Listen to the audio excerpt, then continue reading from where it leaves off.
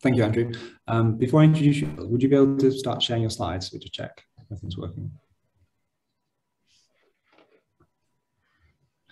Okay, thank you. Uh, thank you everyone for joining us this afternoon. It's a great pleasure to introduce Phil Jonathan and Matt Ross, so Matt Ross, Matt Jones. Sorry, I've lost in my mind then. Uh, Matthew Jones is, uh, so Matthew Jones and Phil Jonathan both work at um, Shell. Um, Phil is the chief statistician at Shell, and he's worked for Shell for over 30 years now. He's also a professor of environmental data science at Lancaster University. Phil got his PhD, I think, back in 1987, if I remember correctly, from University of Swansea. Phil originally started out as a physicist and then joined Shell, I think, about 88 as a mathematician. And then since then, he sort of slowly transitioned from physics and math into more statistics and sort of um, statistical modeling, applied statistics. Um, Phil has quite a range of interests um, in covering areas such as uncertainty quantification, Bayesian methods, computational statistics, and in the last few years, especially at Lancaster, I know he's been quite involved with extreme value theory methods. So extreme value theory methods are looking at sort of rare events, so probabilistic approaches to understanding what is the probability of a 100-year flood, for example. So Phil's been doing a lot of very exciting work about applying statistical methods within Shell, and particularly within the context of environmental sciences. And this year, Phil was awarded the Greenfield Medal from the Royal Statistical Society. So this is a medal which is given out every three years for excellence in statistics within industry. So it's a um, great award to win. And uh, without further ado, I think I'll just pass over to Phil. Would you like to start? Yeah, well, thank you very much for the um, invitation and um, for the opportunity to to speak here um, today. So so the talk is about um, decision support, but for environmental applications, right? So we'll be I'm thinking about rare events, about monitoring and inversion um, in the environment, and um, throughout about uncertainty quantification. So it's a joint talk with um, with Matthew who's with me. Um, Matthew um, has done more of the uh, more recent work on um, um, on, on methane monitoring, atmospheric methane monitoring. So um, in the panel discussion at the end, I, ho I hope that uh, Matthew would be able to uh, chip in with his expertise as well. And the slides are available on um, at the Lancaster website there. Okay. Okay, so um, just a bit more of an acknowledgement, right? Obviously, um, this is not um, my work. Um, this is work of, um, of, a large number of people, right? So um, some of my colleagues in um, in Shell are mentioned there, um, and of course we have collaborations, long-standing collaborations here with Lancaster, uh, with Cambridge, with Durham and Melbourne, and the UK Met Office as well, right? Um, so when Chris asked me to give this talk, he asked um, for somebody who was um, doing applications, right? So um, this talk is definitely going to be about um, applications. So if you're um, expecting um, a lot of methodology, I think you're going to be disappointed. There will be um, a number of references um, to methodology to the papers that we've written in recent years, but mainly it, it, the talk is going to be about what's what what is the application? Why is the application important? How did we go about it as um, statisticians or data scientists? So i'm going to talk about two areas and the first is um, extremes, um, so rare events, as Chris explained. Um, so we'll look at two particular situations. The first is um, non-stationary marginal extremes, um, and that'll kind of introduce the subject and some of the ideas. And then we'll go on to one of the more recent things we've been working on, which is um, multivariate spatial conditional extremes. And then the second part of the talk will be about remote sensing, um, so airborne line of sight and satellite sensing um, of methane um, in particular, uh, and also of other gases. Okay, so to start with um, extremes. Okay, so we're thinking about um, a random variable y, um, and we know, so it's going to be an environmental variable, right? and we know that typically, right, in, in, in physics and engineering, right, then when we observe large values or of, of, variables that that they um, are conditional, right? Their dis distributions can only express conditionally, right, on um, covariates, right? So, for example, to make it um, specific, we could be thinking about um, a storm in the ocean, um, and a storm in the ocean, um, its characteristics would be dependent, for example, on the month of the year, let's say, right, or on the direction of the storm, or on the water depth or, characteristics of the pressure field, right, or of fetch to, to, to, to land, yeah? So if we want to um, understand and characterize extremes of that random variable, then obviously um, incorporating those covariate effects um, is, is, important. Okay, so that's one part. So we need to incorporate the covariate effects. Um, the second thing is that we um, appeal to asymptotic theory in order to in order to come up with a likelihood um, which would be appropriate um, for modeling this kind of situation, right? So, so for example, we can look at the distributions of exceedances of a high threshold um, and these, uh, and then there's um, uh, asymptotic theory for peaks of a threshold, um, which tells us that if we take that threshold psi to be um, high enough, then um, conditional on the covariates and that high threshold, that the distribution of um, the thing we're interested in is uh, GP. And here, GP stands for generalized Pareto not Gaussian process, right? And uh, this GP here has um, three parameters. It has a shape and a scale um, and the, the threshold, as we've mentioned. So, so we're interested in in coming up with uh, essentially um, this equation down here, right? We, we're essentially um, in assessing risk, right? So we want to be able to calculate expected losses for systems S, um, which involves an integral of this form. So we need to characterize the distribution of the covariates. We need to characterize the distribution of the of the environmental variables given the covariates, and then there might be an additional layer where we have some, let's say, response of some physical system in that environment, right? And then we might have a loss or a utility function, which is then a function of that response conditional on the characteristics of the system. Yeah, so throughout this, obviously we want to reflect uncertainty fairly, right? We want um, statistical and computational efficiency. Um, um, the kinds of applications that we've done so far are, are, are, mostly in offshore and coastal design. So we're looking at the ocean environment, we're looking at winds and waves and currents. Um, you can imagine that um, there might be two situations where this might be important, right? You could think about what's called um, long-term design.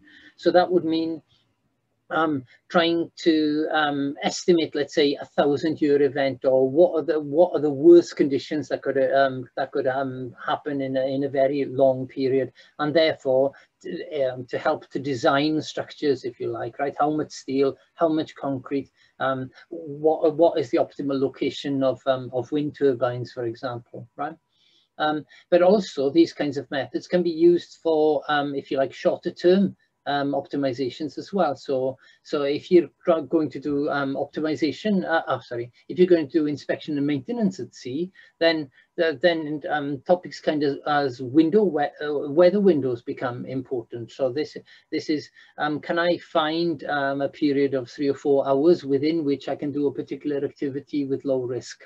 Okay, so again, um, it's a risk analysis, it's a decision problem. Um, the statistics or the mathematics of the decision problem um, are the same in, in, both situations. So here are um, some of the papers that we've um, published um, on, on this and uh, kind of related subjects, and there'll be a list of references at the end. Okay, so this is a, a motivating application. Um, so you can see what I'm going to do is I'm going to think about a location which is just offshore um, Norway here. Okay. Um, and what I want to do is I want to characterize extreme environment um, uh, at that location um, just offshore Norway. So the pictures here are showing the vari variation of HS, which is significant wave height. So this is a measure of the variation, if you like, or, or the variance actually of the ocean surface over a period of time at a particular location as a function of direction and direction um, is in this case um, measured um, clockwise um, from north at zero um, and it, uh, it, it, tells us about the direction um, from which particular events are coming, right? So what you can see in this case, right, is that there's a particularly unusual directional effect at around 220 degrees. And this corresponds to 220 degrees corresponds to storms which are just able to pass around the um, the coast of Norway, right? So you have this funneling or focusing um, um, at, at other angles, right? You, you, the uh, the the launcher of Norway gets in the way, right? So you don't see much, but then suddenly you get this um, huge um, increase in the in the values of um, of storm severity, essentially in the variance of the ocean surface. So clearly, um, a, a, structure in the ocean needs to be particularly strong with respect to um, this direction um, here. Right? Again, you see the same sort of thing with season. We all know that um, winter storms um, in the Northern Hemisphere, right, are going to be, um, um well, you know, January, January kind of storms, right? Are going to be um, um, much um, more intense than um, storms in the in June or July, for example, right? So what we want to do is we want to build models and essentially they're smoothing models, okay? So the first two applications I've got here are applications of, of smoothing, but I've got a particularly um, sort of unpleasant likelihood to, um, to work with in, in establishing the inference. Okay, so the kinds of things that we do is that we, we would have a, um, a, uh, a density or, or the component of the likelihood, if you like, right, which is a, a two-part. We need to be able to describe the distribution of events below some threshold with um, threshold non-exceedance probability tau. And then we're going to use this generalized Pareto motivated by asymptotic considerations for um, exceedances of that threshold. Okay, so again, what we use below the threshold doesn't really matter. Um, it's, it's um, we could use a non-parametric estimate, but here what we're going to do is use as a, a truncated Weibull log, uh, truncated Gumbel distribution of popular choices. So we want to infer this uh, non-exceedance uh, probability tau. This is always a, a problematic um, um, thing to do, problematic inference in um, in extreme value theory, because um, you, you, could imagine that the that the characteristics of the GP tail depend um, quite strongly on the choice of tau, right? So so estimating tau um, is a challenge in itself. Okay, so we're going to try to do that as part of the inference. Um, and um, in principle, then all of these parameters of the truncated Weibull, the, the rho here is the rate of occurrence of threshold exceedances, um, and these three parameters here, which are parameters of the generalized Pareto distribution, they're all going to vary smoothly as a function of numerous covariates. But in this case, I'm going to talk about two. I'm going to talk about direction theta, and I'm going to talk about um, season phi. And if you want to um, know more about this model, then um, you can refer to Randell et al. So then in terms of the mechanics of doing the uh, inference, right? So I'm going to choose a particular covariate representation, and this is going to be uh, B-splines.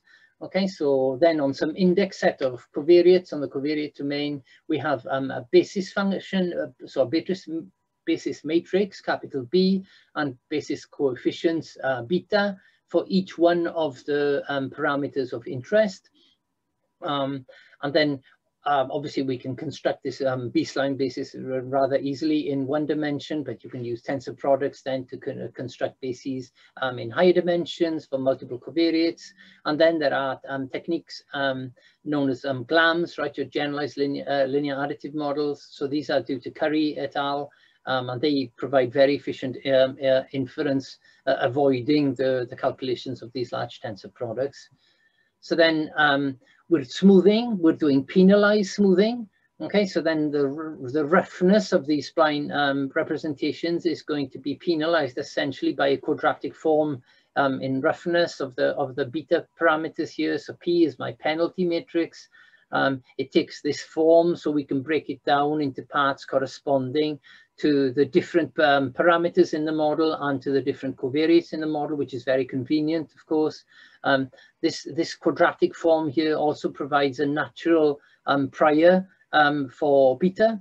Um, and if we want to go the whole hog, as um, Brezger and Lang suggested in 2006, we can include stochastic roughness penalties within these penalty matrices as well. Um, so the so the basics of the, the um, of the penalized B-spline methods called P-splines is explained by various papers from Marx and Eilers, and our implementation of this work is um, is available in Zanini um, et al. Okay, so as a DAG, just to explain, it's a, a rather simple structure, right? So um, what we have is um, um, observations Y, um, tau we're going to take as a, as a constant, uh, but, uh, but an unknown. Um, so it's a, I mean, it's a scalar which we have to estimate. Um, so we have the betas, the sets of betas, and then we have um, hyperparameters on, on those guys, right? So the inference is essentially um, relatively straightforward, right? It's sampling from full conditionals, and when those full conditionals are available in closed form, you skip sampling. Um, otherwise, it's Metropolis Hastings within Gibbs using um, suitable proposal mechanisms. And, and here MALA is kind of our, um, our go-to method. And um, these are some of the um, uh, important um, literature um, backing that up. And then we can now start to look at some of the results that we obtain. so I think I, what I want to emphasize maybe is the scale parameters. So the shape parameters of the of the of the tr truncated Weibull here and the generalized Pareto distribution, they are generally very hard to to uh, to estimate. So it's not that surprising that, say, for this shape parameter, we don't really pick up too much structure. We would need huge sample sizes in order to in order to be able to to characterize direction and seasonal variation here. I think the sample we're looking at here is of the order of 50 or 60 years. Um, it's coming from a hindcast, so which is a, a computer model um, for um, the um, ocean environment, which has been calibrated to observations from buoys, for example. Um, um, so the Poisson rate is clearly picking up a very big um, directional effect, which is exactly what we saw, if you remember earlier, in the directional picture for significant wave height. Um, and, the, and the two scale factors are again reflecting exactly what we, what we saw in the data, right? So we're seeing um, um, large values of scale um, corresponding to storms um, from the Atlantic, which are able to pass around the headland of Norway um, at around 200, 270 degrees. Um, and we're also seeing this, um, this minimum corresponding to summer months at around 90 degrees, corresponding to the, the fetch limitations of the, or the sheltering from the, from the landmass of Norway again. So we do the same kind of thing here for the um, for the non-exceedance probability. The dashed curve here shows the the prior that we um, that we placed, and the um, the the black um, shows the um, posterior estimate for the distribution of tau. So how do we use all this information? Well, we use it to um, inform um, um, engineering decisions, right? And without going into detail about the, the, the pictures on the right-hand side, if we just look at the left-hand side, we've got direction and season. And what we've done here is estimate the 100-year maximum, but as a function uh, uh, of the two covariates. So again, as I mentioned at the beginning, this is um, one way that uh, an engineer then could decide um, which months of the year would be more appropriate for a, um, particular um, um, activity, uh, how um, one vessel might approach another vessel in particular uh, conditions, etc., etc. okay, I think that's enough on that. Okay, so the next thing is going to be also about extremes, but about multivariate extremes. So use cases here are rare events in multivariate distributions. So obviously this doesn't um, only occur um, in environmental applications. Um, you can imagine um, then this happening in lots of different places. I mean, finance is an, is, is an, is an obvious um, application, right? Um, so we are particularly interested here in, in temporally or spatially dependent rare events. so for example, you might be interested in what is good, what is the shape of a time series near a very large excursion?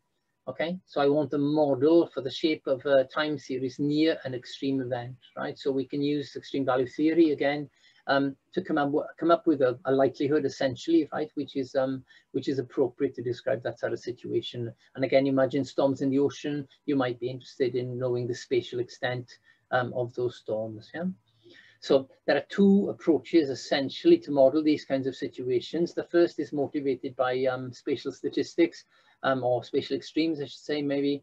Um, and the, the most popular um, um, methods here are, are, based on max stable processes. Um, and they're related to things like copulas, right? And there's a talk here if you're interested on, on, on those techniques. but today I'm going to talk to you about conditional extremes. So this is kind of like um, an extension of the work I've already um, uh, talked to you about, right? So what I'm going to do is I'm going to condition on one variable um, at one location. Um, I'm going to assume that the value of that variable is large. Um, and what I'm going to do is I'm going to come up with a model for um, the distribution of another variable. Okay, so you can imagine how this would be applied in a spatial context. I might have a maximum at some location zero, okay, uh, the value of the maximum would be y and y would be very big. Okay, so then I'm interested in knowing what the spatial structure on some neighborhood S is around zero. Okay, so the, um, the, the recent work that we've done on this um, topic is, um, is reported in these papers. Um, and just a note on extremal dependence for people who are not um, used to thinking about extremes, right? You, you can your intuition about the body of a distribution can often be quite um, um, misleading when you start to think about um, extreme value analysis, right? So, so I mean, in, in, a nutshell, dependence in the body of a distribution and the dependence in the tail are quite different, right? So, in kind of MATLAB or Python speak here, right? If I, if I, if I imagine a situation where I have a bivariate um, random variables, components X and Y, they're, um, they're, they're, normally distributed, mean zero, with, um, with, uh, with a correlation rho, where rho is less than one, okay? Then the probability, the conditional probability of y exceeding some level x, um, given that x is exceeding that level x is equal to zero, right? It's not equal to anything to do with rho, right? It and it's particularly not equal to one, it's equal to zero, right? So the normal distribution is, um, is an example of a, of, a, of a distribution which exhibits um, asymptotic independence, right? So models which are appropriate to um, describe um, the body of distributions um, are not appropriate to um, describe the tails of those distributions often, okay? Um, yeah, okay. So the study I'm going to talk to you about today, right, is um, it is motivated by a need to understand the spatial characteristics of extremes from satellite observations and from hindcast computer model output. Um, again, the applications you can imagine they're similar to what um, um, I discussed earlier. Um, the, it's motivated by um, um, these the, the, papers here by Shooter et al., which you can see at the end again. and the main competitors, as I've mentioned, are these max stable processes and then extensions thereof. So the underpinning result is due to Jan Heffernan and um, Jonathan Tawn um, from Lancaster University. And it's that provided that I am able to um, find a high enough threshold um, and I express um, my um, random variables on, on a standard marginal scale, and here I've chosen the Laplace scale, that I, I, I can prove asymptotically that I have this form, right? So the form of the distribution of y, given that um, x equals x, um, looks a bit like a, um, uh, a regression model essentially with um, with a, with a non-constant variance, right? So I've got this kind of slope term alpha multiplied by the value of x, plus I've got this scaling x to the beta on some residual process z. Um, the residual process is unknown. It depends, of course, on the un underlying distribution that's um, that's generating x and y. But for um, for, uh, um, for estimation purposes, we assume, um, for example, a normal distribution or extensions thereof.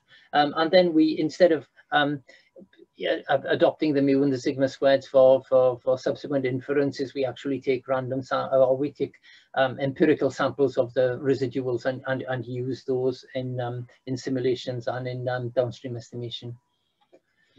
So here's an um, example. So you've got um, Iceland, you've got um, the UK and Ireland, right? Um, so what I'm going to do is I'm going to look at um, this transect essentially of locations. This is very interesting. These are some of the most extreme um, ocean environments in, on the planet, right?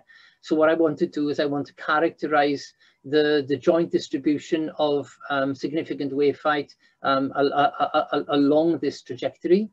Okay, what I'm going to do is I'm going to condition on a large value at the first quantity, right? So one quantity, the green quantity here at this location. But then what I'm going to do is I'm going to estimate essentially conditional spatial profiles for lots of other quantities. That's where there are different colors here. Each color represents a quantity. Um, and then uh, those quantities at lots and lots of different locations, right? So mathematically, what I've got is um, I've got um, um, um random variables that I index with J and K. Okay, so J index a location, K index um, the quantity of interest. I'm first going to have to transform them to standard um, Laplace scale. And in order to do that, I'm going to use exactly the methodology I described in the first part of the talk. Um, and then I'm going to fit um, uh, a, multi, uh, a multivariate uh, conditional spatial extremes model, which is basically this. This is the. This is where the likelihood comes from. Okay, and then I'm going to make a particular assumption about the um, distribution of the um, residuals and if you like, or the residual process. So I'm going to assume it's a delta Laplace, so which includes the Laplace distribution and the Gaussian distribution of special cases um, determined by the value of this um, parameter delta. So this guy has, um, it's obviously multivariate, right? It's a mean mu. It has, a, um, uh, if you like, marginal variances, which I'm representing by sigma squared.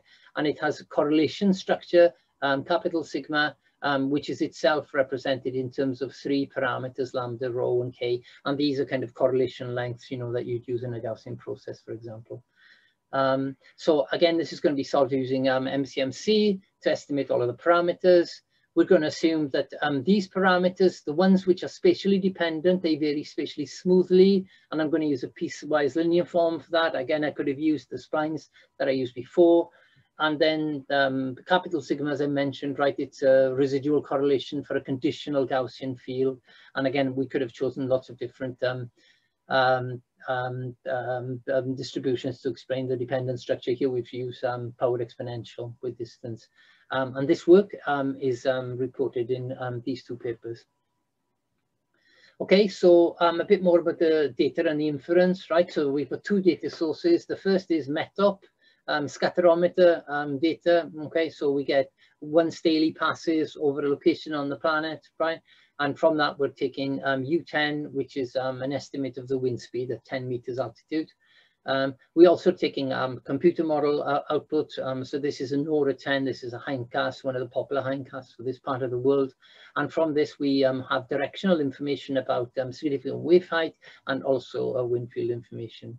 So the inference is relatively straightforward. Again, it's using MCMC, adaptive MCMC um, from Roberts and Rosenthal uh, with piecewise linear forms for the parameters.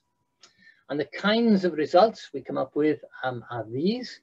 So on the x-axis, you have um, distance in kilometers, and then you have the, the, the, the estimates of the various parameters with um, um, with um, credible intervals on them, right? So you can see um, rather um, interestingly here, right, for the three variables that I'm looking at here, and they're referenced down here. So this is satellite wind, hindcast wind, and hindcast wave, that the spatial decay of the three quantities, um, which is um, encoded with, uh, by alpha, is rather similar, right? So after about 500, 600 kilometers, we know that the that the linear term in the um, in the, um, the the model, right, has has decayed to effectively zero.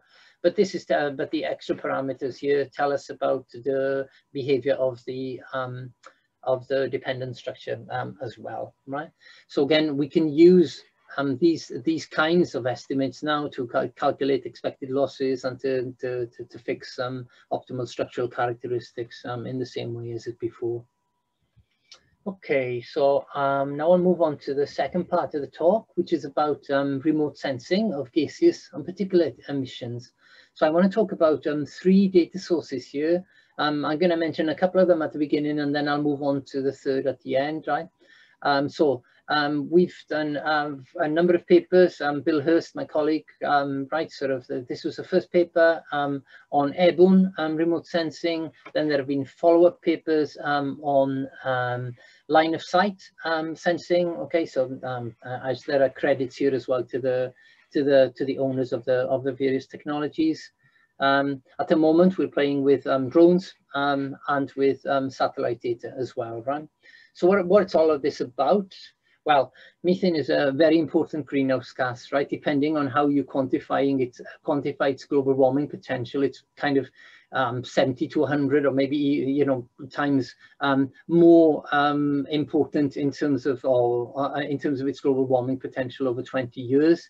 So it's a very, very important gas to, to be able to model and to be able to um, understand in terms of its um, atmospheric um, concentrations, right, over very, very different scales. So using satellite, you might want to make um, global quantifications of the amount of methane in the atmosphere from, from um, um, let's say, exogenous sources, right? Um, and you might want to make um, quantifications on much smaller spatial scales, right? So this is an illustration of a case study that we did a few years ago um, around a Canadian landfill site. So these are actual measurements uh, using an aeroplane to fly around um, and, the, and the blue dots are kind of representing the concentration of, of methane and the, the, the black um, sort of um, um, areas are representing the uh, locations of landfills. Um, then this is a more recent study um, at Chilbolton at the, it's a schematic of what we did at the Chilbolton um, Observatory. So this is um, Hurst um, et al 2020. And here what we're doing is using line of sight sensors. So what you have is you have um, a laser source and then you have essentially mirrors, but they're um, fancy mirrors, they're called retroreflectors. So then what we're doing is measuring path integrated um, concentrations. And here what we have is um, some, some um, images, some illustrations of um, source locations and plumes Um, and then we're trying to kind of consider obviously optimal design here, right? Um, for a given, um, for a given, let's say, prior distribution of sources and source strengths, um, spatially, what would be the optimal um, distribution of, um, of, of, of, of, of, of laser and retroreflectors. Okay, so um, it's a very simple um, problem to, to, to write down, right? We have observations Y, um, we have a background B, right? Which can be um, problematic, I, I, should mention, right? So if you imagine methane in the atmosphere, right, you're measuring about 1.8 um, parts per billion, okay?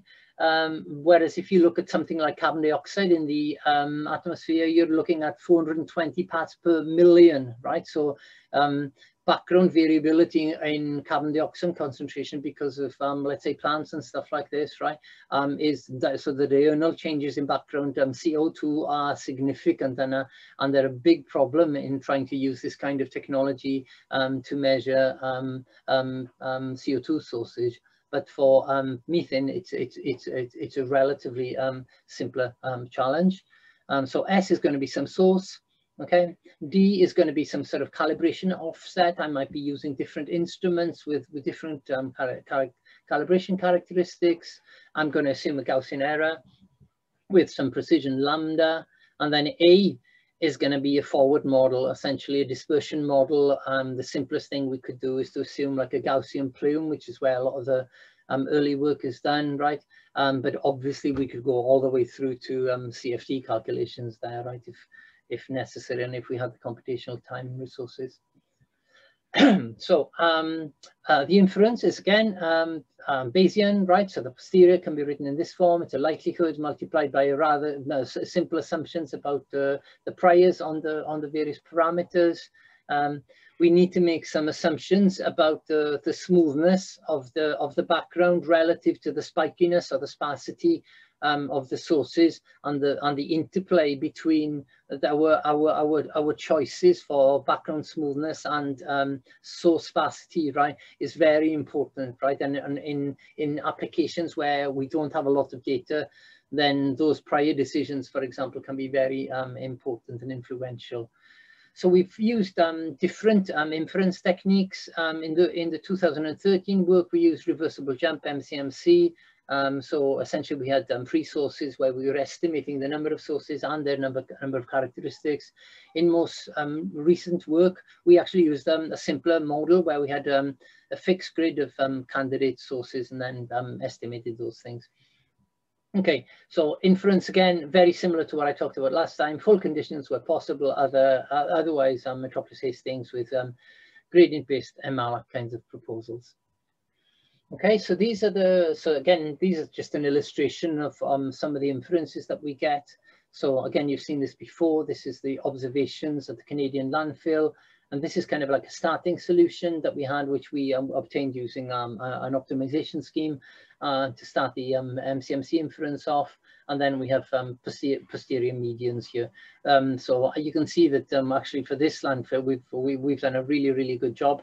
Um, this one we didn't do quite as well, right? And this was actually to do with um, um, triangulation, essentially, right? There were problems with the, the wind directions that we were measuring, and the, the wind direction obviously is in, uh, informing the, the plume model that we used um, for this inference. So it led to um, um, improvements and corrections to the way that we were implementing the wind field. Okay, so then um, another area that we're interested in is satellite sensing, right? So there are um, various um, sources of um, um, good satellite data. So for example, Sentinel-5 um, Tropomi is a, a natural a natural go-to, right? So this is tropospheric monitoring instrument, right? the data publicly available. Um, there are a few issues with Tropomi, right? There's, um, so if we're looking for individual sources, then basically five tons per hour is the, is the smallest source that we would be able to see. And the Tropomi pixels are of the order of five kilometers. Yeah, it's, it's um, 0.01 arcs. Um, there are um, so there, um, there are private companies that are available, for example, GHGSat, right, who, which do a better job, right? Um, they, they can get down to sources of um, about 100 kilometers per hour and in principle down to around 50 meter spatial resolution.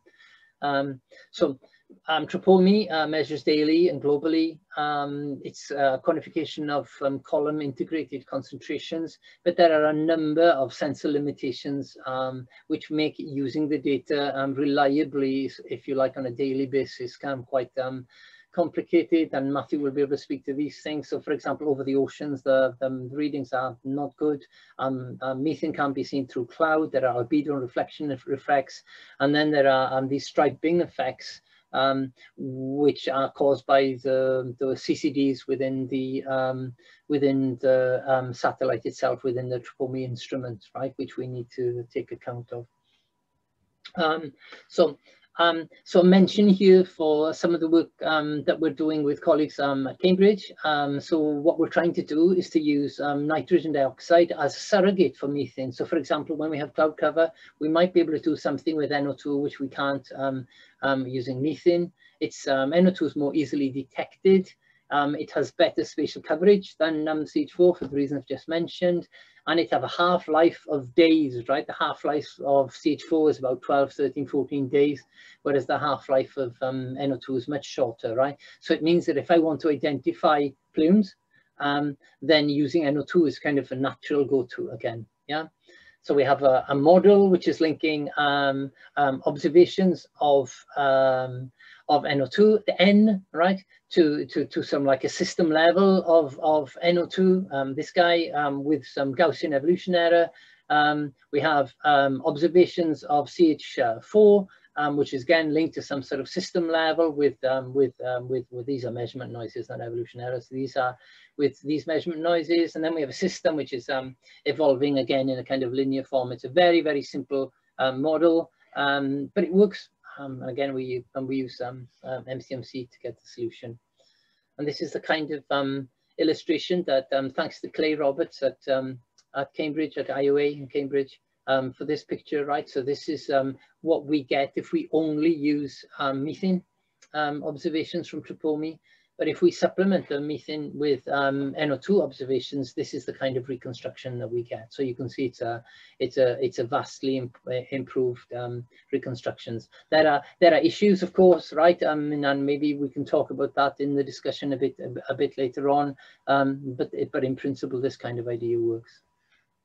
Okay, so um, that's it. Um, in summary, right, um, I guess we're about coupling of physical and statistical knowledge within appropriate frameworks for inference, um, exploiting growing sources of data for direct observation and um, physical models, right, and um, careful uncertainty quantification, which we normally get via Bayesian inference for uh, better decisions.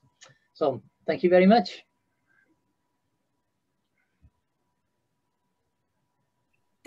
Thank you very much, Phil. Um, as Andrew's already mentioned, please add any questions you have to the chat and I'll uh, field the chat.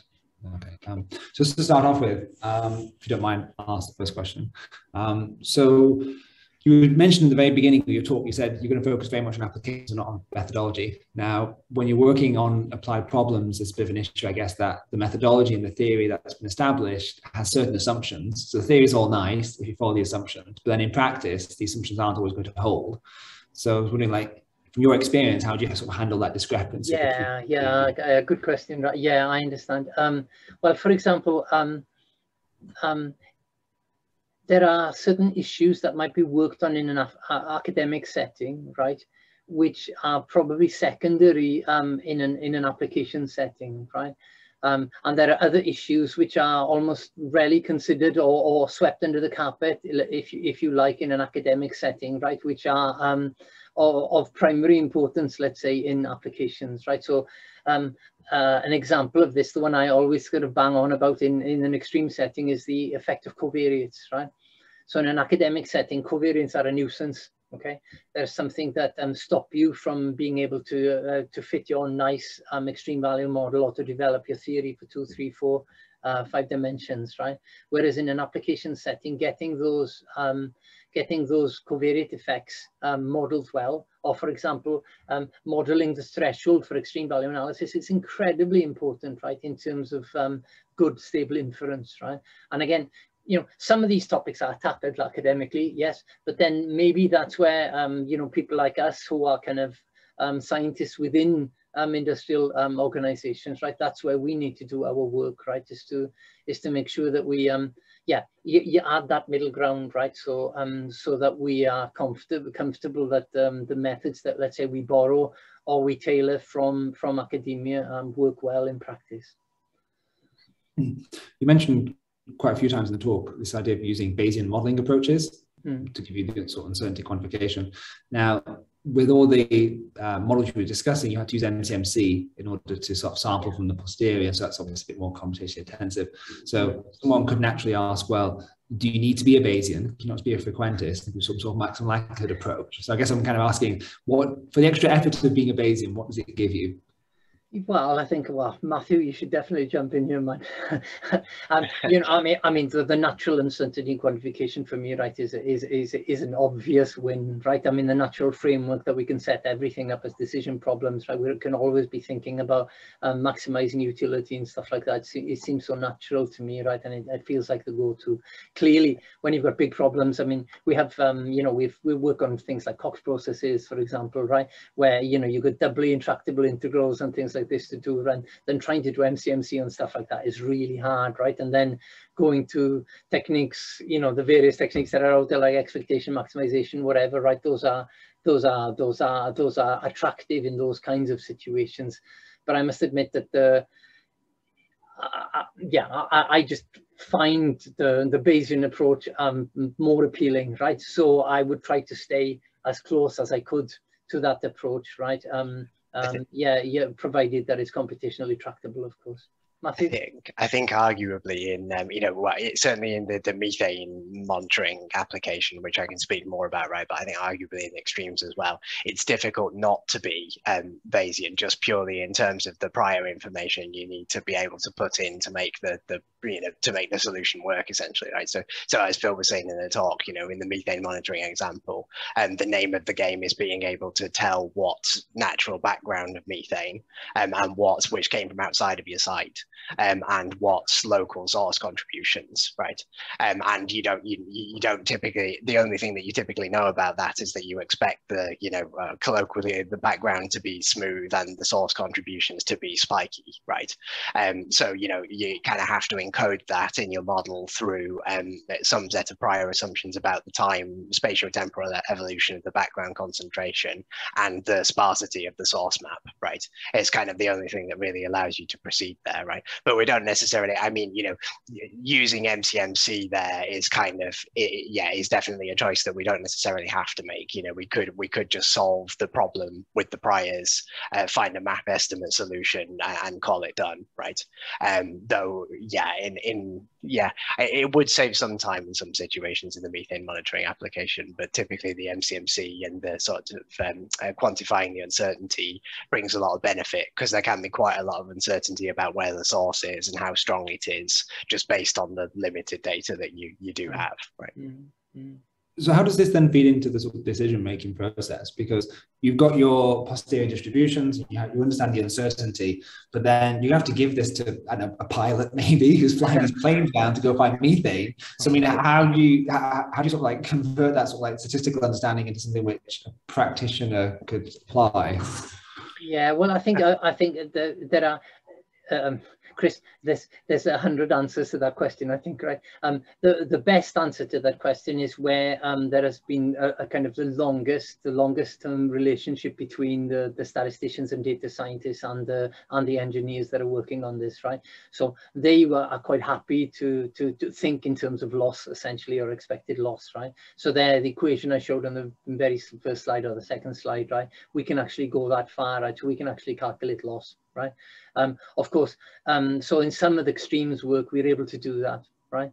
Um, in other areas, we can't get anywhere near that because we don't understand, you know, all of the parts. We can't write down all of those integra uh, uh, integrands at, at, all, right? So, um, so yeah, it's it's more it's more difficult, right? And then, sure, um, in a lot of cases, people are used to having point solutions, right? And they simply have no way of, of, of, of propagating uncertainty, even though we can give them a probabilistic solution, right? They have no way of passing that uncertainty forward into their calculation. So then obviously we try to work with them to get to sensible solutions, right? But, but that is definitely application dependent, right? I see. I think in, in the methane case, right, it's kind of, uh, yeah, it's still in the sort of technology development to a certain extent, right? But, uh, you know, the, the way in which it seems to kind of work at the moment is that, you know, we, we get some, we, we try and install a long-term monitoring solution at a site, right? Uh, so we read concentration observations as close to 24 seven as we can. Um, and then whenever some kind of anomaly is seen in the data and, you know, definition of anomaly, I'm not going to get into, right? But it's also a subject in its own right right, right. Um, we when that happens, we would try to um, invert it to identify sources, and then if we run an MCMC on that, we would effectively try and summarize that into a simple, you know, these are the places on the site where we ever had a methane source feature in our solution, right, and these were the emission rates that we got when the source was in that location, um, and then provide that information to the site and to operators who then have to go in with, um, you know, typically it's something like a FLIR camera, which is like an infrared camera, which can see plumes of methane. And they were an, an, operator would go in with a piece of equipment like that, and then try and you know focus the search area on where the the kind of algorithm using the concentration measurements had suggested initially, um, and search for which piece of equipment is actually causing um, the emissions within that, right? Um, so yeah, still being worked out to a certain extent, but that's that's approximately how it works at the moment. Thank you very much. Um, if there are no sort of further questions in the chat, then um, thank Phil and Matthew again for um, a very interesting talk. And the next um, data-centric engineering webinar will be on 1st of December. It will be uh, Philip Hennig. So please come along and join us again. It'll be, again, it'll be a Wednesday at 4 o'clock. Okay, so um, we'll end this session there. Thank you all very much for joining and thanks again to Phil and Matt. Thank you, everyone. Thanks, Bruce. Thanks, everyone.